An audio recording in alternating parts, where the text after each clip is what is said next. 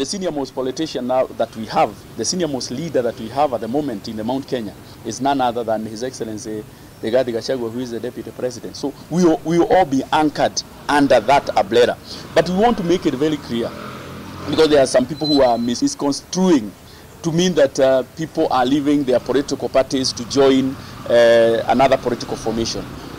We are coming together with our own outfit at the moment. If in future we will be able to work on those other things, then it will be okay. Let us all agree that we have Rigathi Gachagua who can continue, uh, you know, on this journey. And who says, who knows? And I want to say this. For 20 years, His Excellency Deputy President Rigathi Gachagua worked with President Uhuru. I think leadership rubbed off Uhuru Kenyatta uh, to daga daga shaguwa